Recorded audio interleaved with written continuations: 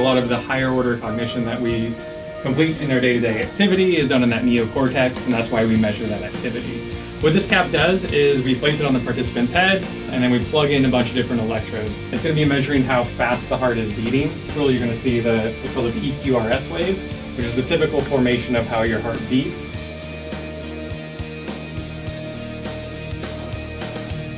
I never would have thought about a comic uh, museum and library. Music videos are not just broadcast performances. They tell a story, okay?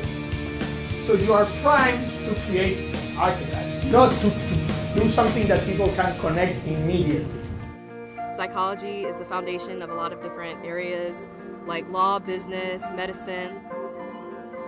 That gives you a sense for people's individual differences, kind of predispositions you would come to if you were to enter our lab, right?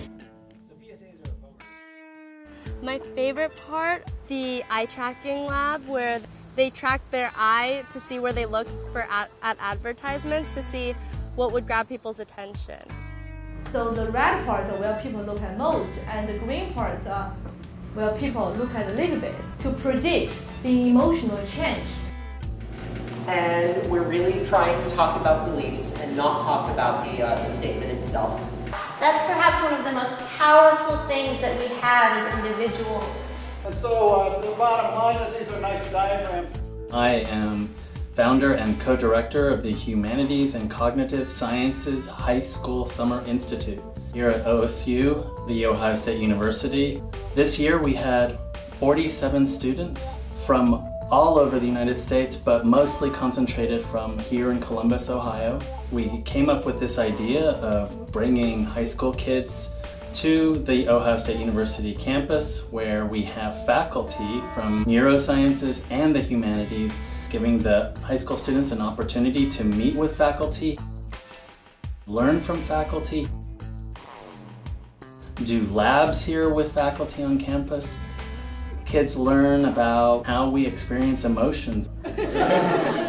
Students were doing research on meditation in the brain, what it is about film and animation that activates, triggers, engages our brain at different levels.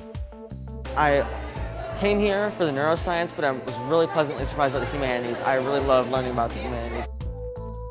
How Aristotle thinks about how we exploit emotions to draw people into our art. And you're trying to convince the individuals in the audience that they're actually living through the art you're showing them.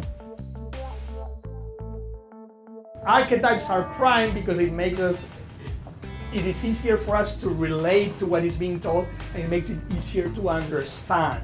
So that, that has been going on from the beginning of narrative forms. Oftentimes the most powerful stories are the stories that have the deepest crisis or conflict at the beginning of them, because that's what allows for the kind of most powerful emotional effect. And they develop all of these connections and networks because they're all interested in both the humanities and in the sciences. There was a lot that I liked about it. Really liked the experience that, that we got. I really liked it. I would definitely recommend this, especially, actually to anyone really with any different interest, but I definitely would recommend it.